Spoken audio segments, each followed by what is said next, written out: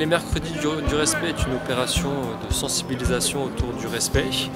On a neuf étapes sur cette saison 2015-2016 où en fait le principe c'est que les clubs amateurs de la région euh, sont invités aux infrastructures du club professionnel, donc ici Marcel Picot en l'occurrence pour la S Nancy-Lorraine, à participer donc à une journée autour du respect euh, sous deux temps en fait, deux temps de, travail. première partie euh, en salle où sont évoquées sous forme de questionnaires les règles du jeu, le comportement au stade, l'aspect médical et de la santé,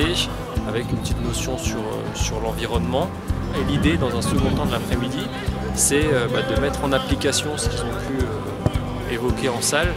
par le biais d'ateliers techniques, comme c'est le cas actuellement, des ateliers techniques, football et éducatifs en même temps. Donc là, on a par exemple deux ateliers sur l'arbitrage,